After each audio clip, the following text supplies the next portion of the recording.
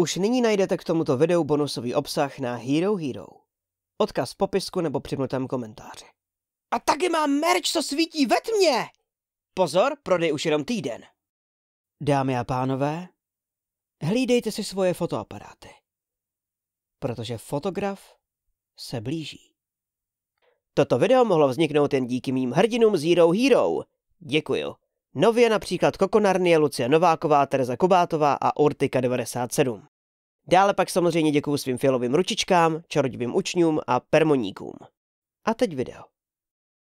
Před časem jsem točil video o entitě 1 lidé a zmiňoval jsem, že Backrooms si tak trochu hrajou na SCP a tím pádem není úplně jasný, co je vlastně skutečná entita 1, protože existuje víc variant toho, co by mohla být entita 1, ačkoliv se teda nejčastěji mluví o tom, že entitou 1 jsou právě ti lidé. No a lidem na Hero Hero jsem dal k volbě, aby rozhodli, o jaké z těch dalších možných variant entity 1 mám mluvit příště ve videu. No a lidé na Hero Hero rozhodli, že chtějí slyšet o fotografovi. Tak pojďme na to. Fotograf je teoretická entita, o které se předpokládá, že je zodpovědná za většinu fotek, které vznikly v Backrooms. Teoretická je ta entita kvůli tomu, že vlastně nikdo neví, jestli ve skutečnosti existuje. Protože fotografa nikdy nikdo neviděl. No a nebo teda ten, kdo ho viděl, tak už toho potom moc nenamluvil.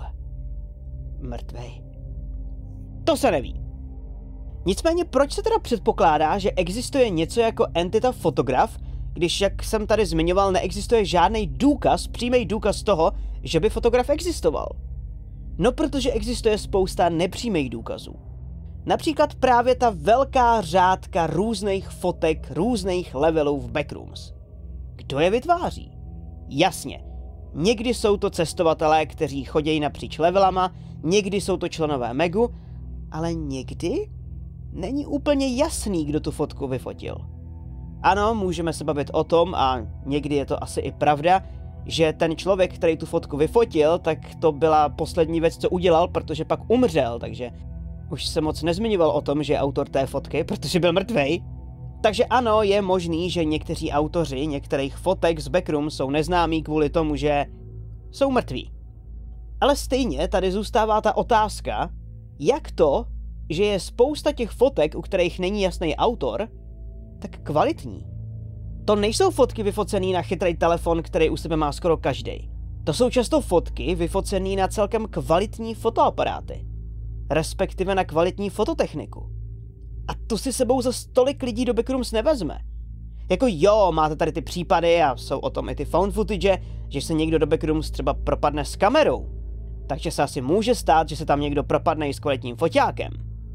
Jo, že si takhle jako kvalitní fotograf fotíte nějakou svatbu nebo fotíte ve svém ateliéru a najednou si říkáte, sakra, jsem moc blízko, ale oni už dál nemůžou, tak já si couvnu a couvnete jeden krok, dva kroky, tři kroky a najednou si říkáte, ty stěny kolem mě byly vždycky žlutý?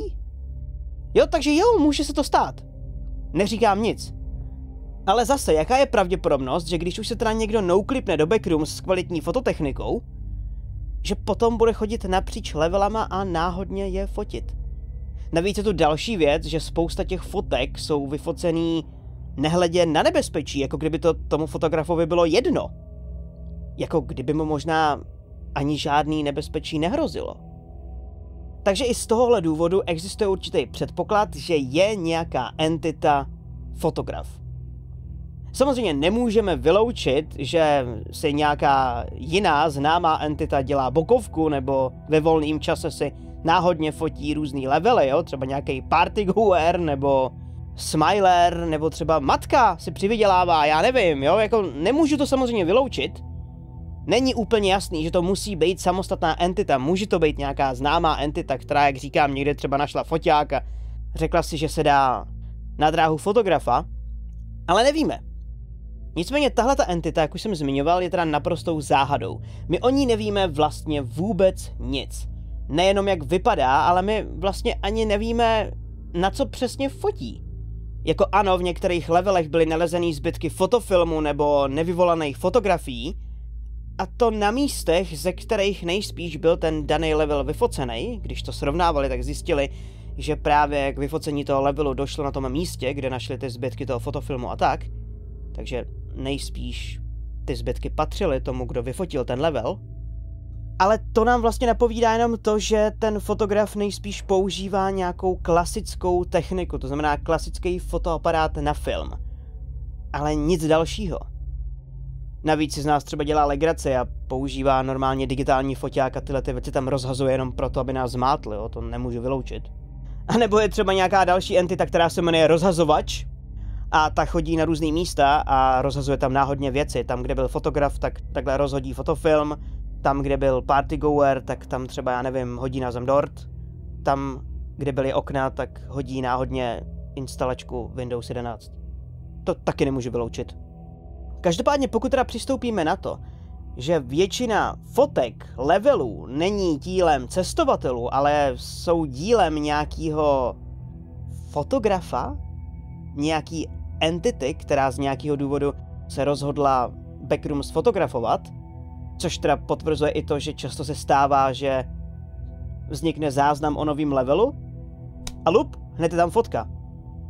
I když ti lidi, kteří ten level objevili u sebe třeba foťák neměli. Tak kdo ten level vyfotil?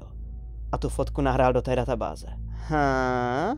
No každopádně, pokud teda přistoupíme na to, že tenhle ten fotograf existuje a z nějakého důvodu chodí po backrooms a fotí levely, tak ta otázka, proč to dělá? Je to jeho jediná záliba, je to prostě entita, která nic jiného nedělá, jako jenom chodí po backrooms a fotí?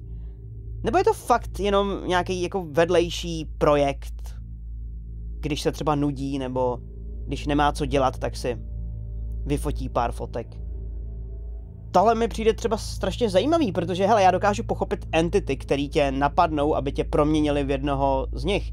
Dokážu pochopit entity, který tě napadnou, aby tě snědli. Dokážu pochopit tu kočku Samantu, která tě jednoduše donutí, aby si ji nakrmil. Dokážu pochopit i Jerryho, který tě donutí, abys ho uctíval, ale... Proč sakra nějaká entita chodí po backrooms a fotí? Co z toho má? Mně napadá jedna věc. Co když fotograf vlastně není vůbec fotograf? Co když je to stvořitel Backrooms?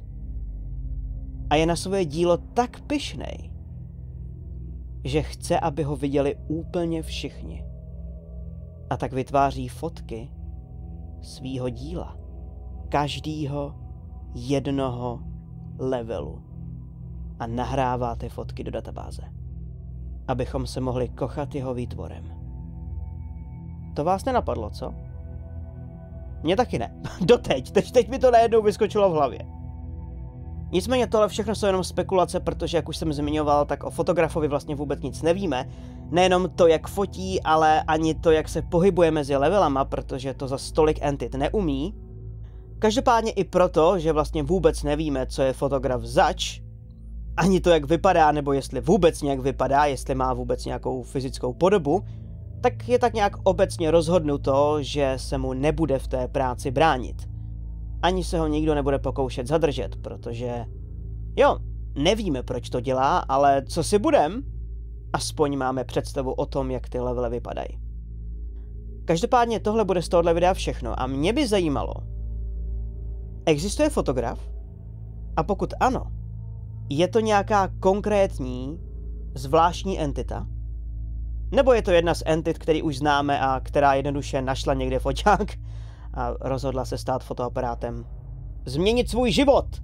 Přestala vytvářet dorty a začala vytvářet fotky. To je všechno. Pokud jste na Hero Hero, tak teď by tam už někdy mělo být a to jako doopravdy, nebo dobře, možná ne teď, ale během dneška by se tam mělo objevit moje video, ve kterým vyplňuji různý backroom skvízy, a věřím, že to bude docela legrace, protože tyhle ty kvízy bývají dost zajímavý. Vím, že jsem tam měl jeden, který se jmenoval Jaký level z Backrooms jsem?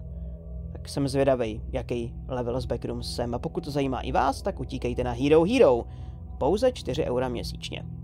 Pokud mimochodem dáme na Hero Hero do konce října 50 předplatitelů, 50 hrdinů, tak jsem vám slíbil hodinové video z Backrooms. Tak utíkejte. Já myslím, že je dost důvodů toho, proč byste tam měli být.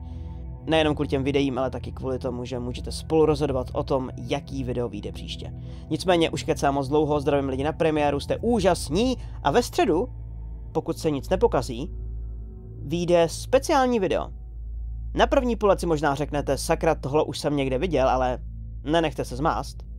Ve středu totiž vyjde level Vykřičník. Run for your life. Aktualizovaná verze. Já jsem totiž včera zjistil, že oni ten level přepsali a přidali tam spoustu zajímavých detailů, o který jsem se s vámi rozhodl podělit. Takže ve středu čekejte aktualizovanou verzi levelu Run for your life. Já už utíkám, mějte se krásně a dobrou noc.